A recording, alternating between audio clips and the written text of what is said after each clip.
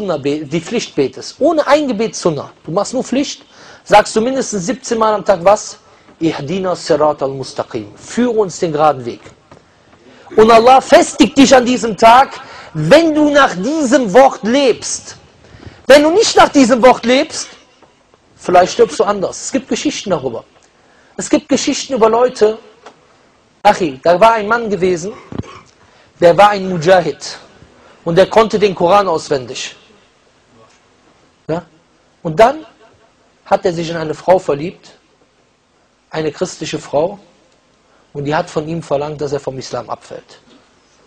Und der ist vom Islam abgefallen. Und dann kam eines Tages, ach, ich möge Allah uns bewahren.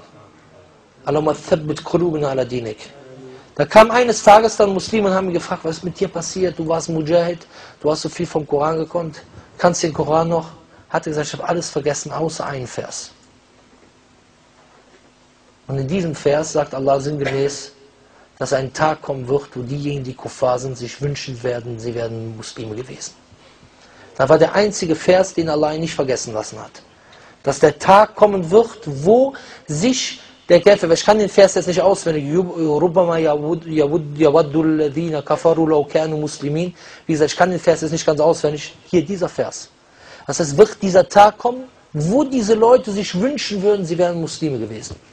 Das war das. Eine andere Person, der hat immer diese Liebe, immer den anderen Weg gegangen. Und immer das, womit du dich am meisten beschäftigst, das ist vielleicht das, was du in deinem Sakratul Mot sagst. Das haben wir gesehen.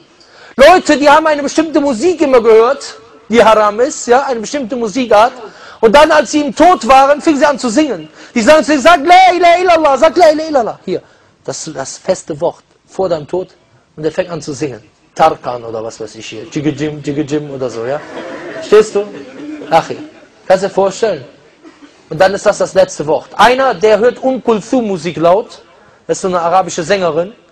Der Sheikh, der kommt zu dem nach Hause, der will dem letzte Instruktion geben. Und voll laut, das ganze Haus schallt von Um Musik. Der sagt zu Taqullah, fürchtet Allah, mach die Musik raus, tut mal Koran rein hier. Damit er sich ans Jenseits erinnert und so weiter. Was sagt der Mann? Dann sagt dieser Mann, der im Sterben liegt, sagt, macht, macht den Koran raus, tut Um wieder rein, denn die äh, die, die beruhigt sozusagen mein Herz. Boom, in dem Moment stirbt er. Andere Leute, andere Leute, der stirbt, der hat einen Autounfall, junger Mann, was ruft der? Der ruft nach seiner Freundin. Letzte Woche, der ruft nach seiner Freundin. Achi, deswegen, wenn man nicht danach lebt, du musst nicht denken, Achi, die schlimmste Fitna ist bei deinem Tod. Achi, jetzt, du hast den Scheitan neben dir, der lässt dich das Leben führen, dass Allah dich nicht festigt in diesem Moment. Und dann bist du weg vom Fenster. Möge Allah uns bewahren. Achi, sogar große Gelehrte, der Scheitan kam zu denen, hat gesagt, hier werde Christ, werde Jude, werde dies, werde das. Der versucht, was meinst du, wenn du in diesem Moment bist? Achi, vielleicht kommst du in diesem Moment, billah, und du hast es, Allah zu begegnen. Warum? Warum hast du es dann? Weil du dein Diesseits zerstört hast? Weil du dein Jenseits zerstört hast und das Diesseits aufgebaut hast. Und dann weißt du, du hast dir im Diesseits einen Palast gebaut? Warum sollst du dann ins Jenseits gehen, was du zerstört hast? Deswegen, Brüder und Schwestern, müssen wir für dieses Wort arbeiten. Und deswegen sage ich jedem hier, Brüder und Schwestern, alle, die hier sind, ich möchte nicht, dass einer heute rausgeht, ohne sich vorzunehmen, fünfmal am Tag zu beten. Jeder soll heute hier rausgehen und sich vornehmen zu beten. Wenn er nicht beten kann, es sind genügend Leute hier, die ihm das Gebet beibringen können. Ja? Er soll jemanden fragen, sich nicht schämen weil man braucht sich dafür nicht zu schämen. Schämen muss man sich, wenn man hier rausgeht und sich nicht vornimmt zu beten. Dann, wenn jemand sagt, die nächste Ausrede ist, manche Leute sagen, ja, weißt du, ich praktiziere den Islam noch nicht so gut und deswegen kann ich nicht beten. Das ist Quatsch. Das ist vom Scheitan. Achi, weil wie willst du, was ist schlimmer, eine Freundin zu haben oder nicht zu beten? Nicht zu beten ist noch schlimmer. Nicht zu beten ist schlimmer, als irgendeine AMB-Mucke zu hören. Ja? Das heißt, bete, und das Gebet wird dich wegholen von dem Weg. Denn Allah sagt im Koran, Inna salate tanna fahshai wal munkar. Das Gebet hält von den Schändlichkeiten und Abscheulichkeiten ab. Das heißt, wenn du betest, kommst du von deinem Weg weg, aber wenn du nicht betest, kommst du nicht weg von deinem Weg. Deswegen fange heute an zu beten. Was gibt es noch für eine Ausrede? Ich habe Arbeit. Geh zur Arbeit, frage den, den, den, den, den Chef, ob du dort beten kannst. Glaub mir, du kannst es. Ach, wir haben einen Bruder gehabt, der hat fünf am Tag gebetet. Oder Aber der hat abends ein Gebet nachgeholt, weil ein Gebet konnte er nicht auf der Arbeit beten. Und dann hat er geweint. Hat er den Abu Jibril angerufen, hat geweint, hat gesagt, ja, ich kann das eine Gebet nicht beten und so weiter und so fort. Da hat er zu ihm gesagt, hast du deinen Arbeitgeber mal gefragt? Da hat er gesagt, nee. Da hat er gesagt, guck mal, bete heute zwei Rakats, bitte Allah, dass der Arbeitgeber dir Dings gibt. Dann geh morgen dahin und frag ihn, ob du das Gebet beten kannst. Dann geht er dort rein, er betet, das, er betet, bittet Allah. Du kannst auch im Sujud zum Beispiel beten, ja, Bitte machen und so weiter. Du kannst auch hier oder die Hände zum Beispiel so heben oder auch ohne. Und sage zu Allah, gib mir die Kraft, dass ich dort beten kann und mache, dass der Arbeitgeber mir das erlaubt. Was macht er? Der geht zu seiner Arbeit. Der Chef, der ist total cool drauf. Und so hin und her, ja, kommen Sie mal rein, hin und her, kreuz und quer. Sagt er, ja, schauen Sie mal, ich muss hier beten und hin und her. Da sagt der Chef, ach ja, kein Problem, ja, gucken Sie mal. Dann gucken wir jetzt mal nach einem guten Ort, wo Sie beten können, wo Sie auch keiner stört. Ich würde sagen, hier ist gut. Dann ist der Chef hingegangen, hat er dem riesengroßes Handtuch geholt. Guck mal, hat das dort hingelegt. Ja, hier haben wir so, so eine Art Teppich, hat er dem abgeschnitten, ja. Das war irgendeine so Fabrik gewesen, also so eine Art Teppich gebracht. Und dann, hat er, und dann hat er mit allen Leuten drumherum geredet, die nicht Muslime waren. Der hat gesagt, wenn einer den beim Gebet stört, kriegt er Ärger mit mir. Kannst du dir vorstellen? Achi, du musst nur wollen. Aber das ist der erste Schritt. Du musst nur wollen. Und ich sag dir, wenn die Arbeit, wenn die Arbeit dir verbietet, Dings zu machen, gib die Arbeit auf, morgen kriegst du eine bessere Arbeit. Glaub es mir. Jedes Mal, wenn du irgendwas für Allah lässt, Allah gibt dir danach was Besseres zum Tausch. Glaub mir. Er gibt dir was Besseres. Allah sagt im Koran, Wer Allah fürchtet, ja, dem schafft er einen Ausweg, der versorgt er, von wo er es nicht erwartet hat. Ich mache jetzt erstmal Pause, ja, damit wir das Gebet machen können. Ich muss dann noch du machen. Ich bitte, Brüder, äh, wir haben heute bestimmt noch genug Zeit miteinander zu reden, obwohl mit jedem werde ich wahrscheinlich keinen Smalltalk halten können. Ihr seht, es sind einige Leute hier. Aber was ich sagen will ist, Brüder, ganz kurz, ähm, ich werde nachher noch einige Tipps geben, ja, wie man auf dem festen Weg bleibt. Es gibt hier auch in der, ähm, bei uns auf der Internetseite ja, Einladung zum Paradies. Ja, da gibt es eine Rubrik, die heißt regelmäßige Aktivitäten. Und da findet ihr auch Unterrichte hier in Köln, die gemacht werden, und Unterrichte in Dormagen. Weil für euch ist es wichtig, Brüder, damit ihr dabei bleibt, ihr braucht regelmäßige Ermahnung. Wie der Koran.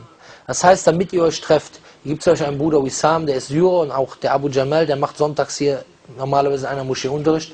Und deswegen ist wichtig für euch, ich weiß nicht, was diese Moschee hier anbietet, ja, aber jetzt vielleicht auf Türkisch oder keine Ahnung, vielleicht gibt es den einen oder anderen, der, äh, der kein Türkisch kann oder was auch immer. Ja, hier gibt es etwas. Und wichtig ist, dass ihr immer wieder zurückkommt. Das Schaf, was von der Herde weggeht, wird vom Wolf gefressen. Wenn du jeden Tag nur eingeladen wirst zum, äh, was weiß ich hier, äh, Neuschwanstein, gibt es überhaupt noch Neuschwanstein? Egal, ja, Nachtflug ist jetzt in, habe ich gehört. Auf jeden Fall, wenn du nur dazu eingeladen wirst, ja, oder was weiß ich, andere Aktivitäten, und es kommt kein Rufer, zum, Rufer zur Moschee, dann stirbt dein Herz irgendwann. Und einmal die Woche reicht nicht, Jumu'ah. Versuche so oft wie möglich zu kommen, weil du brauchst einen anderen Freundeskreis. Das, was dich wegbringt, ist der, das Umfeld. Du gehst raus, hier sagst, ey, kommst du mit nach da, kommst du mit hier, kommst du da, da, ey, wow, wow, wir haben die R&B-Party und so, verstehst du? Und deswegen brauchst du jemanden, der dich zur anderen Party einlädt. Verstehst du, wenn man das Party nennen kann? Nämlich die Süße des Glaubens zu schmecken. Die kannst du nur wo schmecken? In der Moschee. Inshallah. Und ich sage euch eins, also wenn ihr mit uns unterwegs wärt, ne, da würde keiner mehr denken, dass das Leben als Muslim äh, äh langweilig ist, glaubet mir. Ich glaube, ich glaube die, wenn der Verfassungsschutz uns abhört im Auto, ich glaube, die sind sich den ganzen Tag nur krank am Lachen. Ne? Ja, ist egal. Vor allem, wenn man den hier dabei hat. ich habe immer schon, ich habe immer schon, ich habe immer schon gedacht, der hat immer schon gedacht, ich wäre ein bisschen crazy. Aber jetzt haben wir noch einen dabei, ey, der ist nicht zu, nicht zu schlagen. Haben wir, haben wir jemanden hier, haben wir jemanden hier, der Islam annehmen will?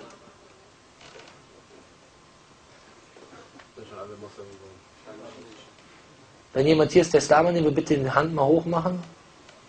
Oder zeigt, du willst Islam annehmen? Jetzt? Okay, dann komm nach vorne. Allahu Akbar! Allahu Akbar! Hör mal, muss man ein bisschen Leverkusen hören. Allahu Akbar! Komm nach vorne, inshallah. Gut, dann haben wir schon wieder Ein, ein, einer mehr auf dem Weg zur Islamisierung. Alhamdulillah. Okay, du kommst, woher kommst du? Angola. Dann sprichst du auch äh, Portugiesisch, ne? Jedes Mal habe ich Angolaner und dann kann ich immer die drei Sätze auf Portugiesisch sprechen, die ich kann. Tudo bem? Okay, gut. Inshallah, dann ich, soll ich die Shahada vorsagen? Ich kann das. Kannst du selber oder soll ich lieber vorsagen? Aber du weißt schon, was das ist. Du weißt, das ist der Glaube, dass der Koran alles richtig ist und dass es der wahre Weg ist, okay? Bist du nervös? Okay. Wir machen inshallah, ja? Ashhadu أشهد la لا ilaha إله illallah إلا الله wa ashhadu وأشهد anna أن Muhammadan محمد Rasulullah. رسول الله Allahu Akbar. Dann bin ich der Erste, dann bin ich der Erste, der dir gratulieren darf. Erstmal, lass, lass mich mal gratulieren, inshallah, umarmen.